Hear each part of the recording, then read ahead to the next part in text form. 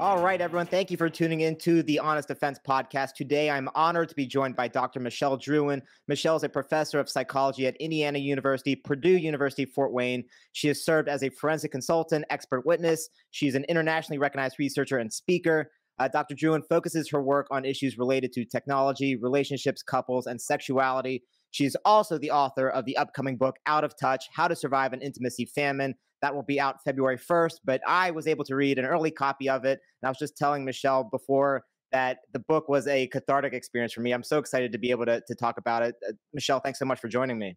Thanks for having me. So, I first want to say that this book is coming out at uh, a fortunate or unfortunate time, I guess, depending on how you look at it. Uh, you know, everyone's having to learn terms like social distancing and all of that you've been working on these issues really your whole career. Can you tell me what was the timeline for the book? Were you planning this before COVID happened?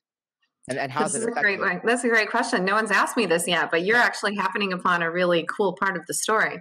So when the world shut down pretty immediately, as it did in the United States, was around March, and an editor from MIT Press reached out to me. At the time, we had been pretty strictly in lockdown, unlike I think what transpired for the rest of the pandemic. And so I was home, I was alone, the world kind of stopped.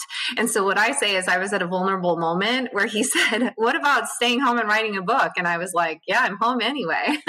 so he had reached out to me before, but there was something about the timing that was perfect for me.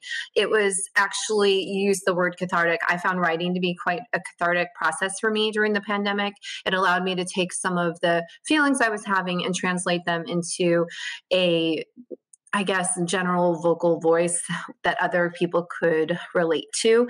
Um, so he got me at a really, really good time. And so, although most much of the work that I reference was done prior to the pandemic, that the pandemic really did spur me saying yes to the book.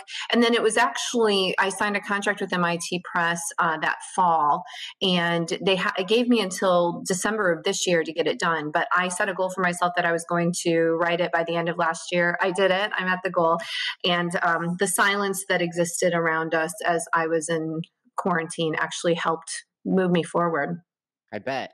And so one of the early experiments that you write about in the book, it kind of it encapsulates really the full irrationality i think of of human relationships you write about how there was this experiment you did where you took couples and you talked them individually and you asked each of them individually uh, about kind of their sex life and whether they wanted to have more sex. And, and both of them would say, yes, I want to have more sex. And it seems like, you know, you the rest of the book, you talk about these big global issues. A lot of the guests I have on the podcast talk about these big global issues. But when you have such a fundamental breakdown just between two people in a couple who both want the same thing, but it's not happening, you know, how do you that, that seems like well, we need to start at that fundamental building block right there is, is communication between couples. Can you explain what is that breakdown and how does that kind of affect all these bigger issues that you talk about? Well, actually, there are two there are two studies I talk about in the book. The first study was actually conducted by someone else. They they had people have more sex, and that actually didn't work out well because what happened, I think, and what the authors propose happened is that because they were forced to do something, they had a psychological reaction to that. We don't like being told what to do, and being told what to do is not fun. So, over the course of that experiment, where couples were simply told, have more sex, that didn't work out. So, what I propose is a different way to study that, a different way that accounts for both people's wants in a relationship. So, instead of just saying, hey, let's recruit in couples, by the way, these couples were happy anyway. They were having what I would say is probably a normal amount of sex anyway. But let's recruit in couples who are unhappy, who maybe have a desire discrepancy. So it doesn't matter. Some couples are happy with sex five times a week. Some couples are happy with sex five times a year. But as long as you're on the same page as your partner, it, it probably isn't creating much of an issue in your relationship. But if we get people who have a desire discrepancy and we get them to negotiate, then we can maybe see something different. Maybe then that negotiation will propel their relationship forward in some way. Um, there is a real critical breakdown, though, and I think this is the important part of what you're focusing on. There's a critical breakdown in couples often between what they want in a relationship and what they're getting in that relationship, whether it's intimacy issues, communication issues, and those are probably two of the big ones, um, or you know the way that they spend money, what their values are, how they're raising their children a lot of people, instead of addressing those issues head on, will just avoid, avoid, avoid. And uh, to say that that's the reason why we have such a high divorce rate, I don't think is unrealistic, right? It's hard to make a relationship work when you're putting together two people with different drives, motivations, experiences. So, um, oftentimes, what you see down see in the breakdown of a marriage is a critical breakdown in the communication in that marriage. And is that kind of a new trend? Is that something you ascribe to technology, or is that has that always been men are from Mars, women are from, from Venus kind of thing? I don't even think it's men and women. I just think it's any two people, you know, take two men, two women in a relationship. You you have breakdowns even in friendships, right? Where communication doesn't go well. So I think that this is to think that you could marry two lives without any kind of issues you know coming up is is unrealistic.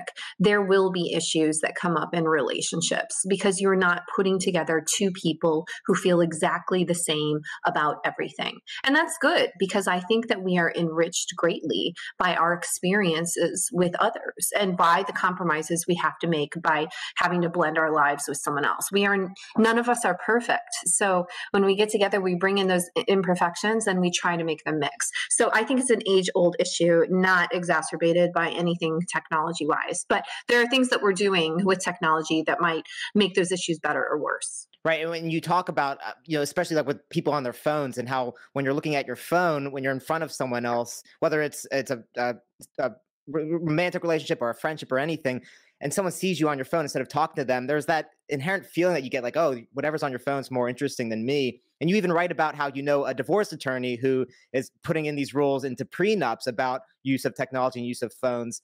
Is that the solution? Because it almost feels like when, you have to start writing down these rules, now it's you've got to start policing each other. That just doesn't. That seems kind of inherently like, well, now you're you're destroying some part of the relationship that should should be more uh, implicit, I guess or natural like right. it should be our natural inclination not to look at our phone here's the thing our phones are attractive to us.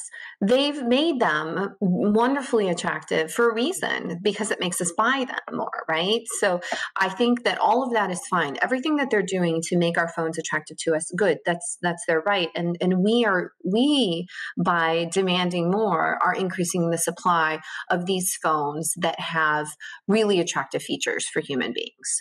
They are our key to our social world. So it's our natural inclination to answer social overtures, whether that be from a person who's right next to us or from our phone, which the social overtures coming from our phone could be from other people who are meaningful in our lives. So when I am looking at my phone and responding to my sister, I am doing something that's natural and good for my relationship with my sister. But at the same time, I might be sacrificing the relationship I have with my husband if he's sitting right there doing it. So, I mean, let's get to your bigger point. Should this be something that people write down? Yeah, why not? Well, it at least should be a discussion because if you were in a relationship, Eric, you might feel, I don't care when my spouse is on their phone or my partner is on their phone. If we're sitting and watching television and they're out scrolling through Instagram, no problem. That's no problem for me. I'd like to do the same, whatever. But then there are other people who would feel really rejected by that and feel like their partner is not being fully present. So at least having the discussion is something valuable. And I'm not proposing that people police each other. What I'm proposing is that you guys mutually agree on this is our rule as a couple. And then if someone digresses from that rule as a couple, then you have a conversation about it, right? And if you have it in something like a prenup, it just makes that formalized, right? Like these are the things that we are not going to tolerate in our relationship. And there are, you probably know all kinds of things in a prenup.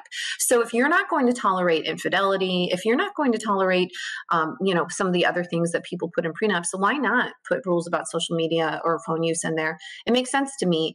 And it, what I think it is critically is starting a discussion. Right. It's, it's getting everything out there. I always joke, yeah. I, I come from an Italian family. It's a very stereotypical Italian families. We're very emotional. We tell people what we're thinking, especially people in our family. We don't hold anything in. And so from, from, from an outside perspective, it might seem like, oh, you guys are just always yelling at each other. But, but really that's just how we express ourselves. And because of that, there's not really a lot of pent up resentment. There's nothing you, you hold in that you hate someone for for years. It's kind of just get it all out there on the surface to begin with, and everyone kind of knows where they stand very early on.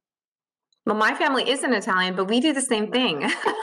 I feel like our families would get along real well, yeah, which is something different. You know, my husband's family they're not like that. They, you know, they really do hold things in. They don't they don't have a lot of outward conflict. But the way I feel is, hey, if I get that conflict out, we can resolve it and move on.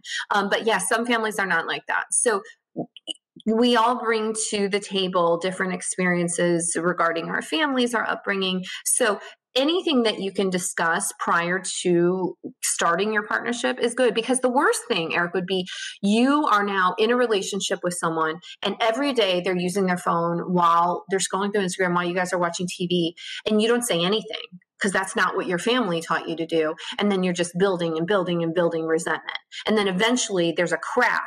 And all of those things that you've been building resentment about, including them scrolling through Instagram, then suddenly come up. Like that would be a worst case scenario than than them discussing it at the front. Right. Eh, so you talk a lot about social media in the book, and this is kind of where the cathartic stuff comes in because a lot of what you write about is stuff that I think would seem intuitive to people, but you put it into scientific terms that kind of kind of validate, I think, what a lot of people feel naturally. So you, you say that you know those who report the highest rates of social media use also felt the most socially isolated. And and in the inverse, the people who use social media the least actually were the most mm-hmm. socially comfortable, I guess, is, is the inverse of that. But is is that just a fundamental flaw of social media? Because the idea of of social media when it started was, oh, this is a great way to connect the world and make people feel like they're a part of something. Is is that just an inherent flaw in social media, or is there a balance that needs to be achieved? Maybe just be somewhere in the middle. Well, first, let me caution with the caveat that correlation does not equal causation, right? So, the people who are the loneliest, maybe they went to social media to find connection that they weren't getting in their offline lives.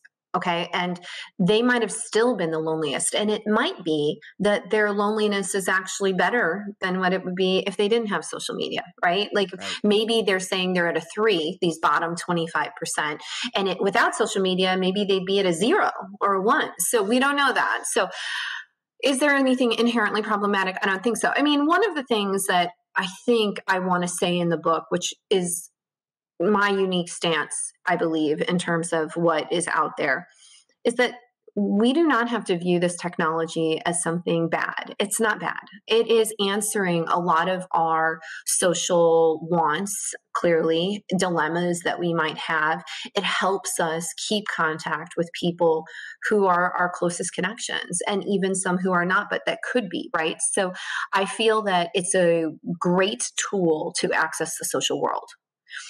However, what happens, I think, is some people fall into a trap where they are using that at the expense of developing other types of interactions and relationships.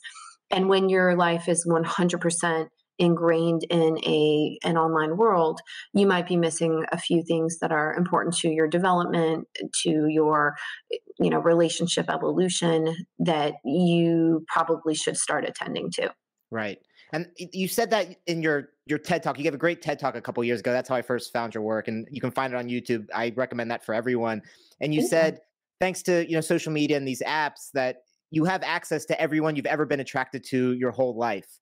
And yeah, you remember that? Yeah, I did. I, I, I wrote that, down because that, that that that stuck out to me because I, I took issue not with, yeah.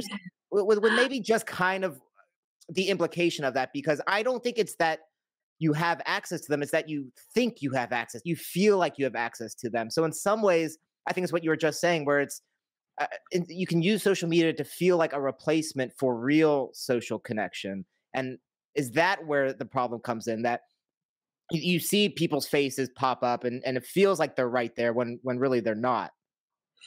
Interesting. So you know, access let's say even unless you're blocked by someone entirely you still have access to get a window to their life. And even if those communication mechanisms are not open to you you're not dming them access i think because of the internet means that as soon as you have anything that's at all public it is really hard to hide yourself. Like right now, I could, it would be impossible for me to hide. It, would be impossible because there's my name, my image, my, you know, these podcasts that I do, they're out there. And even if I got them all erased, anyone could have duplicated it and put them back out. Right. So, um, in, in, terms of access, I really do think people do have access to everyone. Okay, access. Right. But you you have a valid point because it's although you have access in some ways in terms of being able to see someone's life, that does not mean that you have access in order to communicate with them directly. It doesn't mean that they're going to reciprocate any of your communication, any of your feelings, any of your uh, commitment to that kind of relationship. So, on that part, you're completely right. So, although the internet gives you an idea that you can actually touch pretty much anyone, it is creating kind of a false sense of whether or not those people are accessible. Right. And so is that the key is kind of just understanding that and separating the social media world from the real world because and again this the idea that you know you say that the phone fulfills our need for for intimacy it, it kind of fills a little bit of a hole that we have is that is that just because the, the technology is playing this psychological game on our mind or is it actually f- filling that hole because i i think back to i read this book by uh, Sebastian Junger called tribe and he had this great story in there about i think it was really a whole chapter about how there are all these accounts of the western frontier you know in the 1700s 1800s and mm-hmm. and native tribes capturing frontiersmen or or frontiersmen running away from from their town and, and escaping to these tribes and and actually wanting to stay with the tribes. These, you know, to the frontiersmen, it was these savage tribes that were so uncouth and and uncivilized. But there was something about the connection that they felt with these tribes because maybe because the life was so simple living like that as opposed to mm-hmm. these frontiersmen who, who, had a more complicated life and were, were trying to establish these, these complex civilizations is there something about the complexity of social media that's driving us crazy that we need to detach from. I'm you asking know, a lot of questions right in there. I'm sorry. Yeah, I know. I'm trying to oh. trying to figure out exactly what I want to answer. So your mention of the word tribe is really great and super relevant. One of the complexities of the internet that I think holds a lot of beauty is the fact that you can more easily find your tribe on the internet than you can in face to face life for most things, right? So if I have particular interests that are hard to reach or, or hard to find, if I have tastes or romantic interests uh, that are unique or niche, it will be much easier for me to find those than it will as I walk through my daily world, which tends to be quite routine. I see pretty much the same people. So, for diversity's sake, I think the internet is a cornucopia of opportunity. And especially for people who, like I say, people who are in niche groups or who have niche interests, it allows you to make real connections with those people. So, finding your tribe, I think, is probably easier. One of the problems is, though, that there's so many people. So, this again brings your complexity issue to the forefront again. There's so many people that you then have to choose. Okay, do I join the group of people who like, um, you know, the same things I like and they're on this continent and then they meet for coffee every Wednesday over virtual, uh, some kind of video chat? Or do I meet with this group? But the point is, it kind of doesn't matter. You could find someone and being able to find someone is something that I think we take for granted. You seem like a pretty socially adept person. You reached out to me. You're obviously confident you have the ability to navigate social relationships in a way that helps you move through this world. Okay, you say kind of. Nonetheless, I will say that I think you you know, not everyone convinces me to come on a podcast, and you actually tried a couple times, and I thought you were you're very good in your approach but not everyone has that right and not everyone has the social network in offline life that makes them feel fulfilled. So, the internet, with all of its complexities, I think gives a lot of opportunity to people who may not have as rich of a network outside or may not have the social skills that maybe you might have to arrange face to face meetings or whatever. It has something for everyone. It really, really does. So that's what's encouraging to me, right? I, I, feel very lucky. I have friends, I have lots of connections, and I feel very supported by them, loved by them. But not everyone feels like that, right? So the fact that the internet offers people a chance at the thing that I really value most, I can't malign it. Yeah.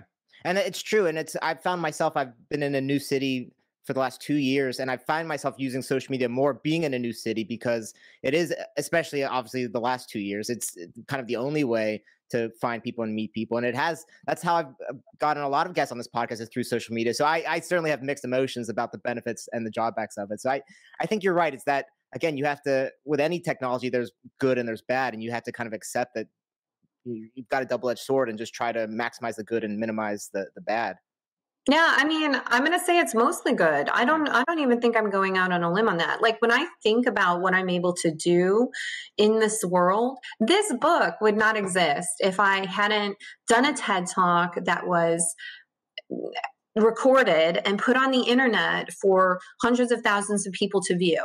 And then MIT Press, someone in London, looked at that video and said, She has something to say and then th- me being able to say this what if this touches someone in a way that sets them on a trajectory that makes them feel good about their life I, the point is all of us i think take for granted the things that the internet and social media allow us to do every single day.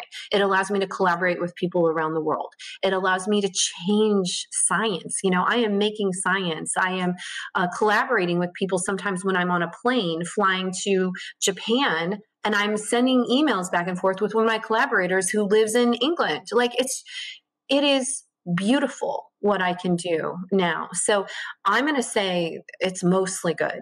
And the things that are pitfalls for us are because we have a natural tendency to just want and want and want and want, right? So, you know, when I have a bowl of cereal in the morning, I always want two. It's hard for me to say no to two bowls of cereal because once I start eating, I'm like, ooh, this is good. I want another bowl of cereal. I want another piece of chocolate cake. I'm, I really loved it for me. I, once I get something, I want more something I like, that I want more.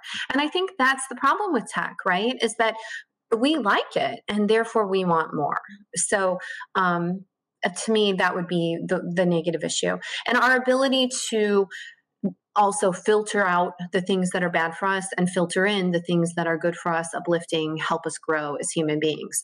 I think that I know putting individual responsibility on it is a little tough, especially since we have a whole generation of digital natives who are having to make these decisions about what do I filter out and filter in without a lot of guidance and with you know the advertisements really being geared towards things that can sometimes be unhealthy. So that's uh, it's unfair to say it's an individual responsibility only, but for those of us who are adults, we have a lot of responsibility about what we consume. Right. And one of the I think the big positives of social media lately is the trend. You talk about how social media eh, and this idea of persistence that the communication we put out tends to last as opposed to just verbal communication or, or over the phone.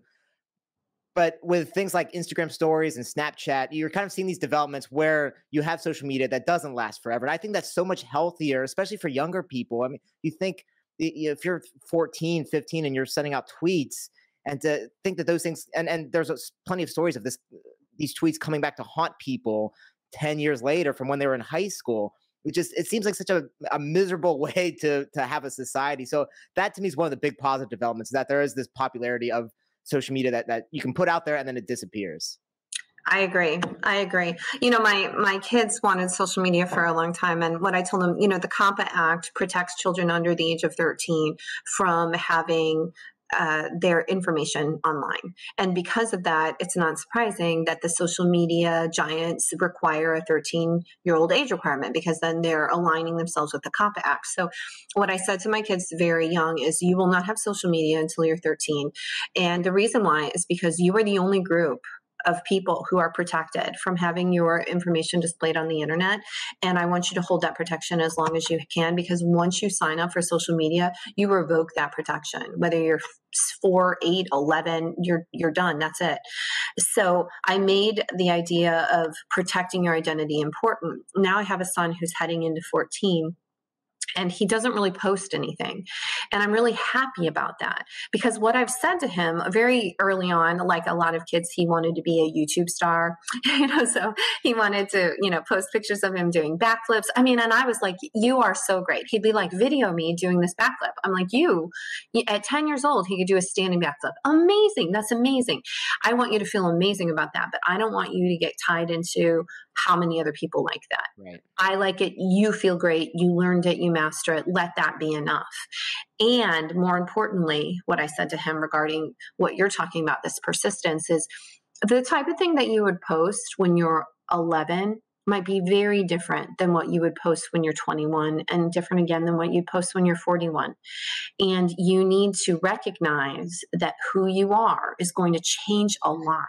So the things that you think are appropriate now, you might think are highly inappropriate then. So always take the more conservative step. If it's post or not post, not post is always the right answer. Um, and I feel like my kids are pretty convinced of that. So, you know, I have one who's going to be 12 and he really doesn't even use a phone at all, uh, except as an emergency thing. Um, and then my other son, he he uses kind of those uh, destroy after reading apps to communicate with his friends, things like Snapchat, um, but he even knows the perils of those. But I agree, having those apps with those built-in features that will make your posts disappear or what you're writing disappear is good because kids will make mistakes. Adults will make mistakes. We'll all make mistakes. Right. And something I really am sad about right now that I don't really delve into a lot in the book is just the fact that we live in a cancel culture. Like I it's really hard for me. Uh, forgiveness is a huge value of mine. I think people should be able to forgive, move on, let their mistakes be forgotten. And I know one of my favorite TED Talks is Monica Lewinsky's, I think it's The Price of Shame or Cost of Shame. And she talks about making this very big you know being a part of a very big issue in a time when social media and the media was just now putting attention and spotlighting people's big missteps. And it was super traumatic.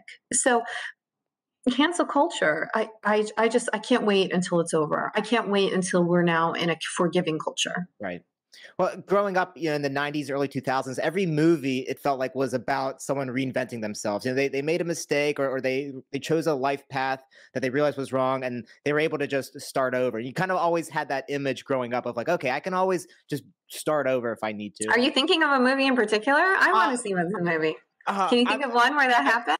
I mean, I, like even just not another teen movie. Like these movies making fun of other movies.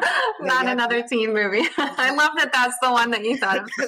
Because that, that, that, was when it was, it was an amalgamation of, of 15 other movies that were about the same theme, which is just okay. like, being able to reinvent themselves. Yeah, I mm-hmm. probably should. I'm sure I should have thought of a, a more intellectual answer than that. I love it. It's, I, I, I love it because it's just honest. You didn't have time to rehearse it. you know, not another teen movie. It's so perfect. That Oscar winner.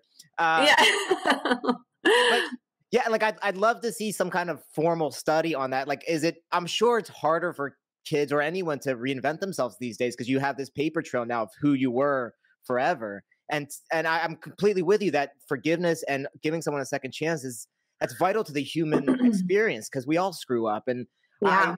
I feel like people are less willing now to even take risks or take chances because of that, because they're afraid of screwing up and that living on forever. And how does that affect? And there, there's so many dominoes that fall with that. How does that affect entrepreneurship and, and creativity and art? Because people don't want to take chances. Okay, so this will be a big share. I think in my book I talk a little bit about big shares.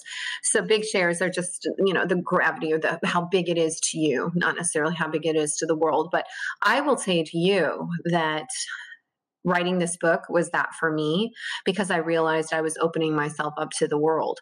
And I actually held the paperback cover of it for the first time a week ago. And I held it in my hands and I was so excited. And then I looked at my husband and I said, uh oh. I didn't think that I would have that feeling, but that's the way I felt was uh oh. And I thought, what have I opened myself up to? right? Because you know, you've read the book, it's not just science. And even if I did write about just science, there are ways to attack even my just science, right? Um, but I have personal anecdotes in there. I talk about my own life. I talk about people who I love. I talk about my friends um, who I disguise, of course, their names. But um, it, it feels very vulnerable. So I hired a book publicist for this book um, who will be working, she's working in conjunction with my MIT Press publicist and the marketing team at both MIT Press and Penguin Random House, who distributes the book. And one of the things I was doing when I was looking for a book publicist was really just seeing who they were. And ultimately, um, when I chose this book publicist, I said, Angela, I we just want you to know that one of the things I'm worried most about is I have a happy life. I'm a really happy person. I have a, a wonderful family. I have jobs that I love. I love all of my jobs. I have colleagues that I care about. I have friends that I care about. And I just want to make sure that if anything ever came so that I'm canceled because of the book, just can you support me through that? Because I, I will, it will make me anxious. My whole goal is to put something out there in the world that's going to help and make people happy and be something that's a good force in the world. But if I'm garnering a lot of criticism, that's like the exact opposite thing that I want and and she recognizes the importance of that so you're happening upon something that i even talked about with the book publicist and one book publicist shared with me that she has fiction writers who have been attacked because for example a character that they wrote about was not actually representing you know an 18th century woman as the 18th century woman should have been represented or something like that right. and and the woman and the person who wrote the book was like, Well, I was never an 18th century woman. I think that was clear when I wrote the book. Um, and, and yes, of course, it's not going to be historically accurate or, you know, perfect. But then this author got scared then of writing more. So it could dampen your creative well. It that kind of criticism can make you scared to move forward. And so it's it is hard. It's really hard. And i think about these kids. One thing i could tell you by raising teenagers is this though. When i look at my 13 year old he is so kind of habituated to cancel culture that he brushes it off. He's like you're gonna get famous you're gonna get canceled. That's it famous cancel famous cancel. You just yeah. Re- and so the reinvention doesn't have to t- take a year of you like doing whatever you did in not another teen movie. The reinvention can happen the next day with a new post. Right. so although cancel culture is so prominent that he's habituated to it it also i think makes him really have all of these criticisms just roll off his shoulders. He really just doesn't care. Oh well people are you're going to write a book? Of course people are going to say bad things about you. You know? That's the price of fame according yeah. to him so i'm going to probably have to keep my 13 year old's views in mind as i you know embark upon this next phase of my career where i am really kind of opening myself. Yeah. Oh that's beautiful. I love to hear that because one of my favorite types of guests to have on the show i've had a bunch of professors who have faced not just criticism because criticism is kind of normal expected but but cancellation for having whatever unpopular views or even just saying one unpopular thing and there's countless stories of this happening to professors on campus and oh yeah. a, a lot of them the guests i have on they say that i just have to accept that. I'm, I'm not going to back down. I'm not going to be afraid. I'm going to stand up for what i'm saying stand up for my work and whatever comes comes. And i think the more people that take that position the more the less you're going to see these cancellations because they're going to realize you don't win by by doing that. And so i love i love that, that younger generation is kind of seeing that and just accepting that that's a part of the world now, and it, it's not a big deal. Yeah, I hope. I, I, mean, yeah. Actually, what you just said actually makes me feel a lot better. That there are other people who are feeling the same way as I do, and they're like, "This is what I believe," and it's not only what I believe; it's what I've been studying. Right. You know, it's this isn't just a book of my beliefs. this is a book of science integrated with experiences that I think is really valuable for the world, and I will not waver on that position. So, thank you for reinforcing that for me. You're welcome. So, let's get back to to the dating stuff because this is the um, so selfishly what I'm most interested in. in oh, good. Okay, let's so, hear it. So you bring up this idea of back burners. You say a lot of people have eh, people who are in relationships have back burner relationships of, of people yeah. that they're connected with on social media who they could possibly see replacing their current relationship if, if something doesn't work out. That it's it's not a foreign idea to me because I, I've heard this idea before, but it's something that to me like doesn't make sense naturally. Because when I'm in a relationship, I feel like I feel relieved that I don't have to think about looking for someone. I so I, I like I I'm the the back burner thing just causes me stress. That idea of it. So what do you have a, an idea of like what percentage of people are are back burner people versus people more like me who who want nothing to do with that? I mean, yeah, I, I, I, don't know the exact statistics, but I think more than half of our stu- our college students who we um, asked about had at least one back burner, and the the adults that we talked to too had back burners. But I think when you think about a back burner, you don't have to think about it as some kind of relationship that you're maintaining off outside of your main relationship. Instead, it could be someone you talk to only occasionally, who you'd be interested in pursuing a relationship with if things were to fail, right? So, or maybe not even if things were to fail, maybe in addition to your relationship. The point is, it doesn't have to be a relationship that you invest a lot of time in or the normal relationship maintenance strategies that we enact when we have a relationship are not necessarily applicable here. It could be a friend, it could be a person from your past who you just, you know, talk to once every three or four months. On average, people keep in touch with their back burners about once a month so it's not super in depth. I think if you broaden kind of your view of back burner relationships as just those people who sparked enough interest in you that you think, hmm, maybe something could happen with that person one day. And then you just talk to them. Again, it could be 100% platonic. So the amount of stress that you think you might experience, you might actually not experience because you might not be pursuing anything. Now, some people do have sexual back burners where they actually do talk to them in a sexual way and they think, oh, I definitely want to have sex with this person. Um, and those relationships might be a little more stress inducing for the people who have them. But yeah, the, in terms of the simple prevalence, more than half of people have back burners. And, and again, is that something that I'm sure with technology, it's become easier to maintain those kind of relationships. So I, assume that also has led has it led to a, a, rise in jealousy. I mean, how do people when when when you introduce this idea of, of back burner to someone, how can they not start thinking, well, is is the person I'm dating? Do they have back burners? How serious are those back burners? What uh, do do people kind of start to spiral when you start introducing that idea? So that that's actually a really good research study. Like we haven't done that research yet, and maybe actually that's the next phase. I'm Jayson Dibble is the main person who I, who I do this back burner research with, and he's phenomenal. He's amazing. He's a jack of all trades. So he um, if you don't know, so he's a professor of communication and, at Hope College in Michigan. And he DJs sometimes on Saturdays, and he is a high school football referee and just was able to do high school refing for a big state game. So he is just like amazing in all ways. Um, I, I adore him. In any case, his when we think about back burners, we have a bunch of studies that we're thinking of, but this is actually really a great idea as something to look forward. Let's introduce the concept of a back burner to you and then how stressful does that make how stressed does that make you feel about your own relationship?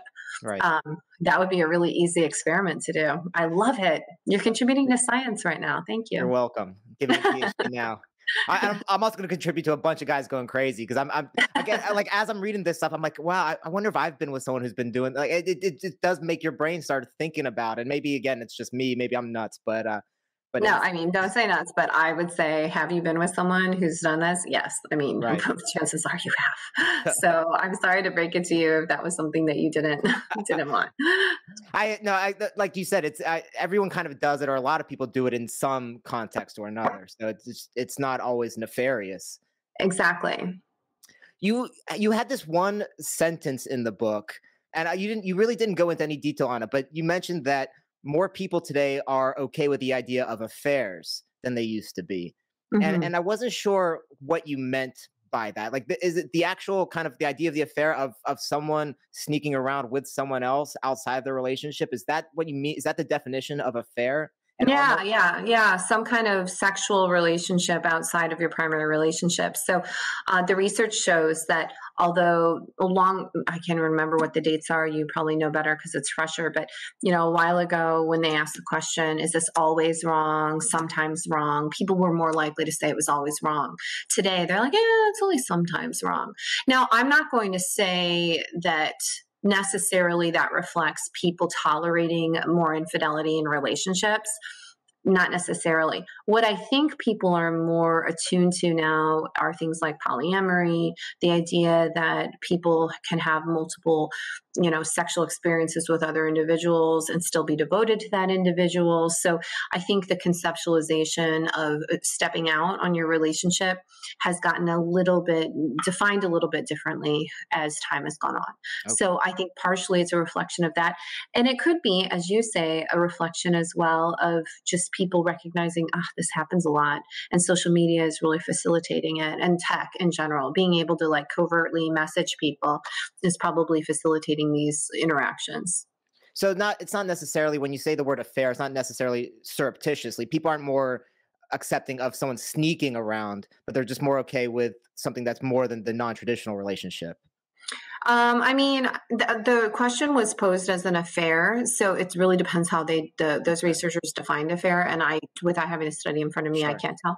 But the definition probably was defined to them. But I'm guessing that people's more liberal views about relationship constructions overall will factor as well into even if they're in a traditional relationship. My just my uh, world being open to these ideas of polyamory and these other ideas of alternate relationship structures friends with benefits and things like that may make me a little bit more tolerant of my spouse having an affair. Right everyone I've talked to who's used dating apps, even people I know several couples who've gotten married after meeting on dating apps, oh, everyone everyone complains about them though. Everyone says how miserable the experience was. Even the people who got married said I was about to delete it before I met this person. Oh wow.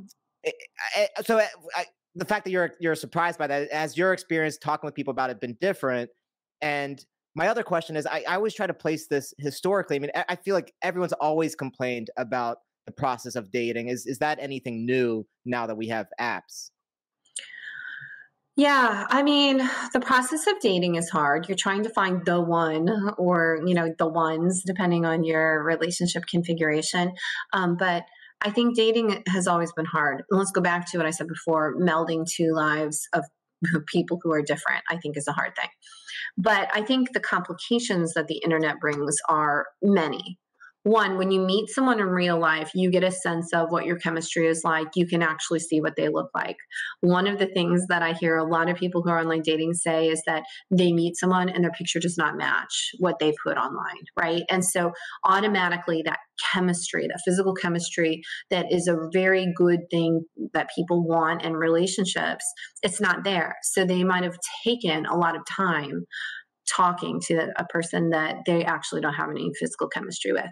And that's an opportunity cost. It's an opportunity cost for other things in their life you know things that they could do for work or spending time with their moms uh, whatever. But it's also an opportunity cost for them pursuing other relationships. So i can see how it's a really frustrating experience.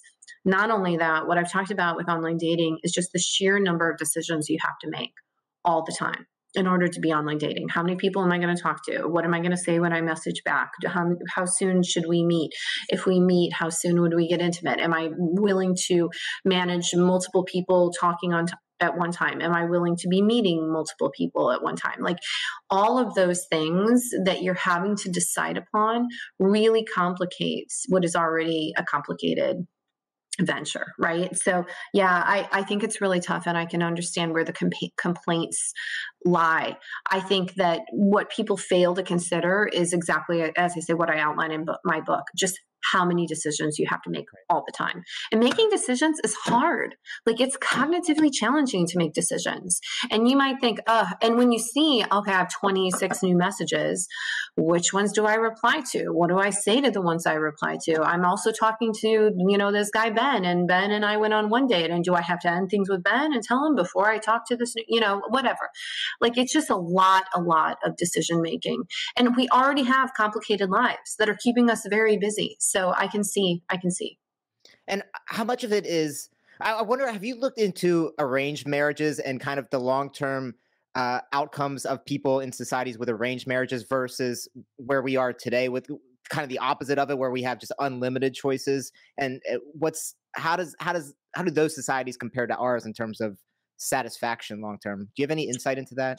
I don't. That's a really great question. Yeah. Why would you would you opt for that? I, at this point, at this point, my, my dad actually has a funny story. When he was in college, he went went to Italy, and he was actually I think in the town where my family's from, and they actually tried to arrange a marriage. They tried to set him up with someone in the town while he was there, just for a couple months, because that, oh, wow. that, was kind of the tradition around there was was these arranged yeah. marriages and, and yeah where what was the town uh, uh, Montecorvino i think was the name of the town uh, it's in that's southern italy and and that's just kind of typical i think I, uh, I don't know if they still do it now that was 50, uh, 40 or so years ago but it seems like that that at least takes away all the the stress of having to, to make this decision and, and am I making the right thing and am I looking at this and that and just having someone say, you know what, I know you, I know this person, I'm putting you together and you'll have to just figure out how to make it work. Because in some, I felt in my own life outside of dating, I felt like t- at times when decisions have kind of been forced upon me and I just have to accept them.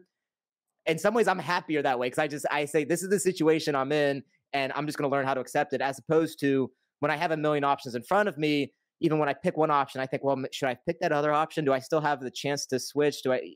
So I, I don't, I don't know. I like the idea of choice. Obviously, I, I'm an American through and through. I, I like freedom of, of options and opportunity, but there are some benefits I see to just saying, hey, this is the situation you're in.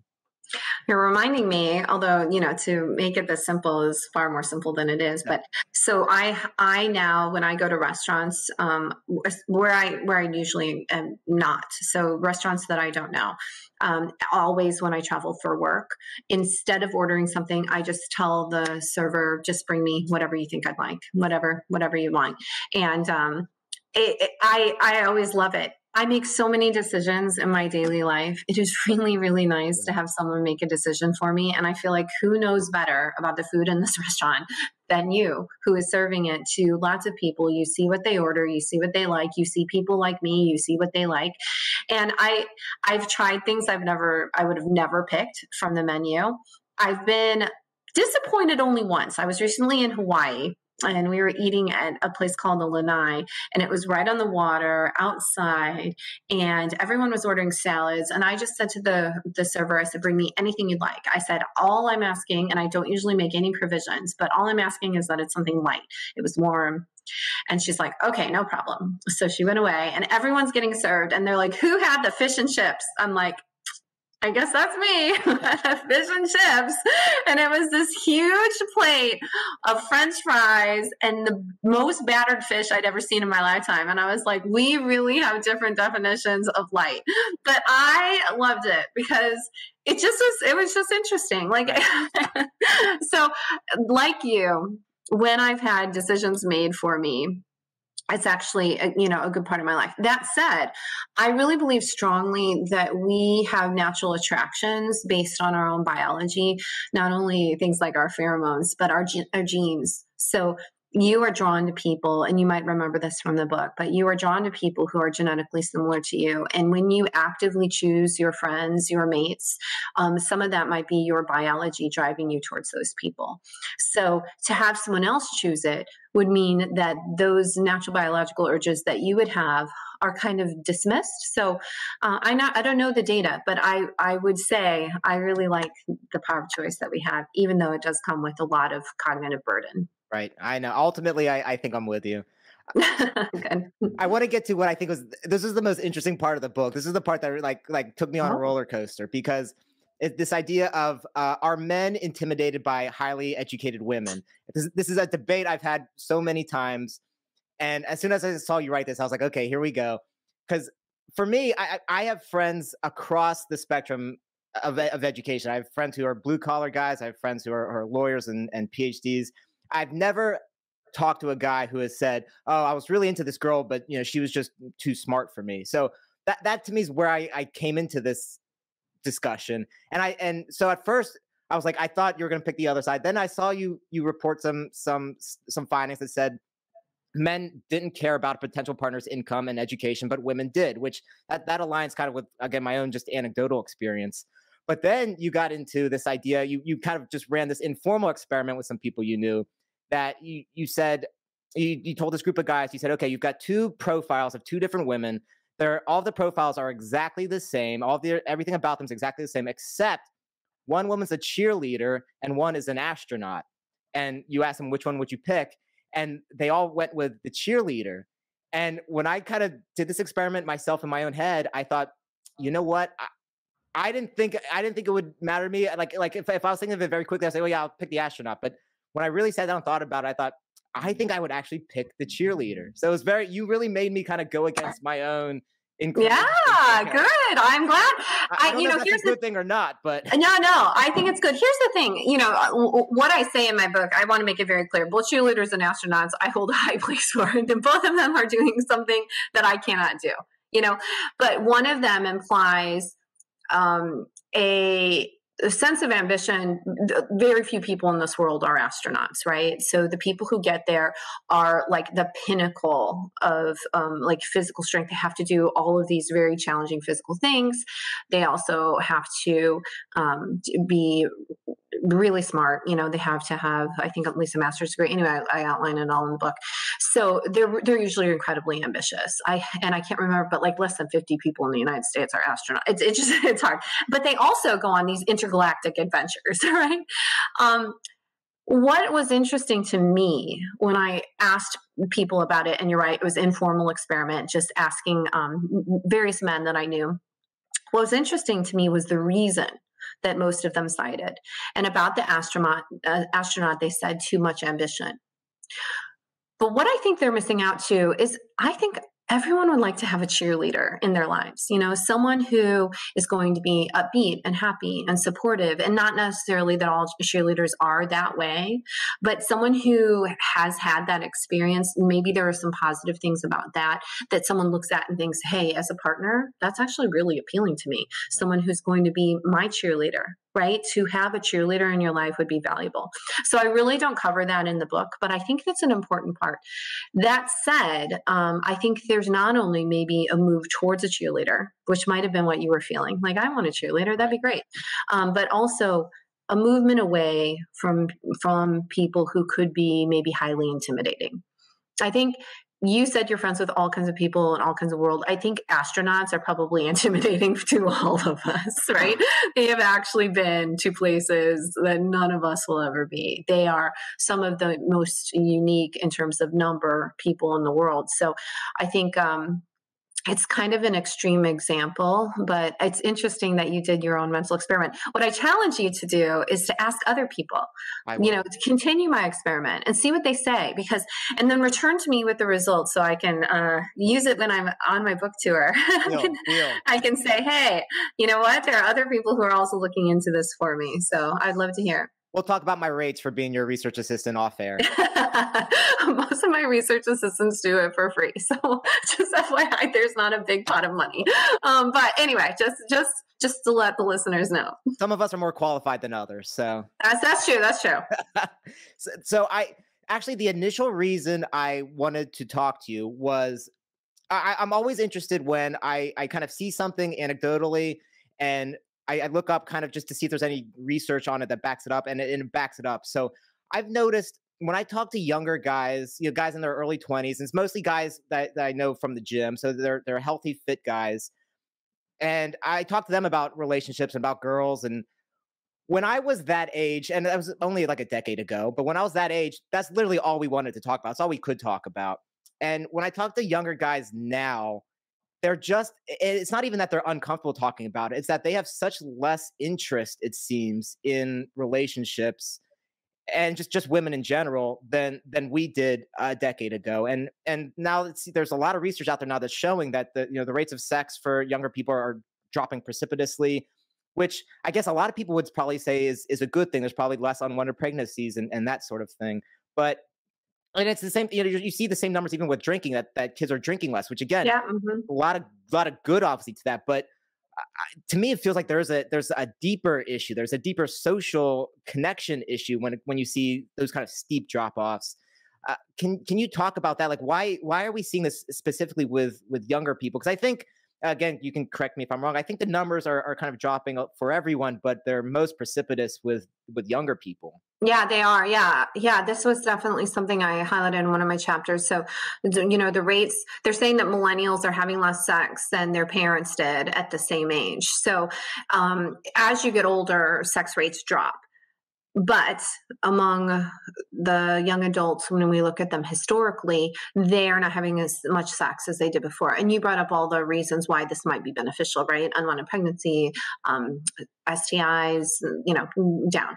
But yeah, what I'm concerned about, and I think it's a real concern, is maybe they're not forming intimate enough relationships that sex is occurring, right? If I just, let's say I'm a person who's using a dating app, and I, I don't want to make dating apps a scapegoat for anything, but let's say I'm using a dating app and I am going on dates. None of them are really working out and I keep searching, searching, searching. Well, that is taking the time of what may have happened before, which is there was a girl in my class and I talked to her and she said we, she would go out and I just persisted with it. Maybe we weren't 100% perfect with each other, but I thought, well, I'm going to be, I'll be willing to take her out again because there's no one else really that I'm, I'm pursuing. So I'm going to pursue her again. I'm going to pursue her again. And maybe after a couple of months of seeing her, we have an intimate relationship, right? But the point is maybe I'm getting deep deeper with that person who I met in my class because I didn't have a lot of other options that I was pursuing that were, again, an opportunity cost for me getting close with one. So I do think it's a trend that we need to be mindful of as we head into this new world and look at whether or not it's having an effect on the depth of relationships, the amount of intimacy people feel in the relationships, and certainly the amount of commitment they feel in relationships. And I'm not saying that there is some right structure. You know, I'm very lenient in the idea that as human beings, we have a power to shape our own future. We do not have to cling to things that didn't work. So, or don't work. So, maybe the the right answer isn't to have deep relationships that lead to sex maybe but sex is good for the body, which I think you always also read in my book. So, um, and it provided you have people who are consenting adults um, there and you know who are practicing safe sex so that people are not injured in it. Um, i think that there are a lot of benefits to just society for people engaging in those kinds of relationships. Have you gotten any interest from people? Because uh, apart from even just the the interpersonal issues and and just the personal happiness issues there's there's like these bigger societal, even economic issues with the, the fact that our rep- replacement rate is below what we need for future generations to be able to support older generations. Have there been anyone who's kind of in a position of, of policy making who's who's expressed an interest in your work? Not yet. I mean, the the, I think the book will get us talking about some of those things because yeah, we we happen upon them. Um, there, you know, when that study came out about millennials having less sex, I don't feel like it was celebrated. I don't feel like there was anyone from public health who was saying this is a great thing. I think people who were talking to me about it, and that was a couple of years ago now, and the trends have just remained the same all the people who talked to me about it were slightly concerned, but they just didn't know why. Why was should we be concerned? But I think we really need to have some deeper conversations about why this is happening and what this means for the future of humanity. And I would love to take part in those yeah. conversations.